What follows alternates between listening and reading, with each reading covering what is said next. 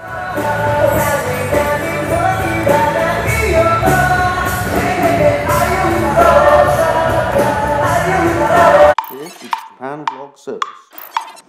YouTube, Michael Peckitt here. It is Sunday the 16th of August 2015. I am in Suita, back from Tokushima.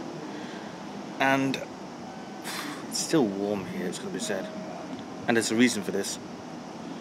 A couple of tropical storms, Goni and Atsugi, or Storm 15 and Storm 16. Goni and at, at Sani, actually, is how you pronounce it. Goni's heading towards Naha, and Atsani is heading towards, well, Tokyo, basically. But it's going very slowly. And this makes it very rainy, and very stormy, and very warm. Apparently, it's something to do with the El Nino effect. A mixture of high and low pressures causing lots of little tropical systems to form. Goni's not going to bother us here in uh, Osaka. That's going to be, you know, going to Naha, going to Ishigaki Island. But yeah, the other one that could do some damage in a few days.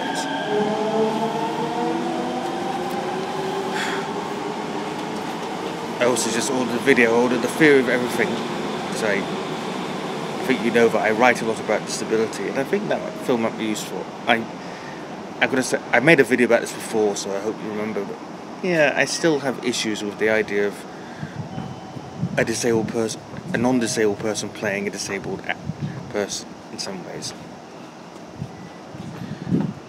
Although Eddie Redmayne is very good. I've changed my mind about one thing. There's a scene which are spoilers where Hawking imagines himself walking. And uh, I watched an interview with uh, Stephen Hawking and his daughter Lucy.